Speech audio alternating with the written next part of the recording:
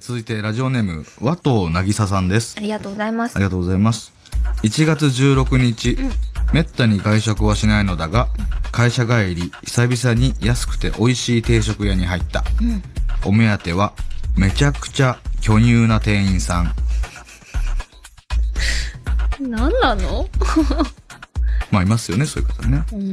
入ったらまず、その店員さんがいるか確認。いるのは確認したが、悟られないように何食わぬ顔で席に着く。うん。注文するため店員を呼ぶ。うん。しかし、お目当ての店員ではなく、しょんぼり。うん。料理が届くまで A&G を聞きつつ、店員さんに チラチラ手を、え、えすみません、チラチラ目を向ける。チラチラ手ダメだよ。チラチラ目を向けるです。はい。何度見ても立派なおっぱい。はあ。そして、料理を食べ終え、会計へ。うん。レジにはお目当ての店員さんが、はあ。普通に会計しつつ、再度一瞬胸に目を向けた。うん。ごちそうさまでしたと笑顔で言って、店を後にした。うん。実に眼福、いや、満腹だった。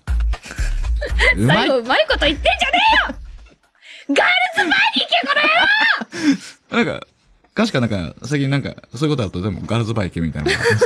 うん、私の知識はそう、そこしかないから。ガールズバーに行けば可愛い女の子と喋れる。間違ってないです。うん、でしょ？胸もきっとチラチラ見てもいいんでしょ？え、みちダメなんですか？定食屋さんは。ダメだよ！定食屋だもん。定食食べに行きなさいよ。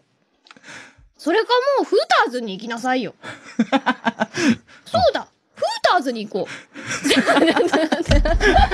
何かのそうだ京都に行こうみたいに。なターズに行けばいいんだよ、うそうですうん、おね。腹もいっぱいになるしそうですね。うんあ、そう、そうですね。そうだよか眼福という意味でもね、はい本当に幸せになるよはい。うん定食屋じゃないということはい。なので、じゃあ、ちょっと一応警告しておきます。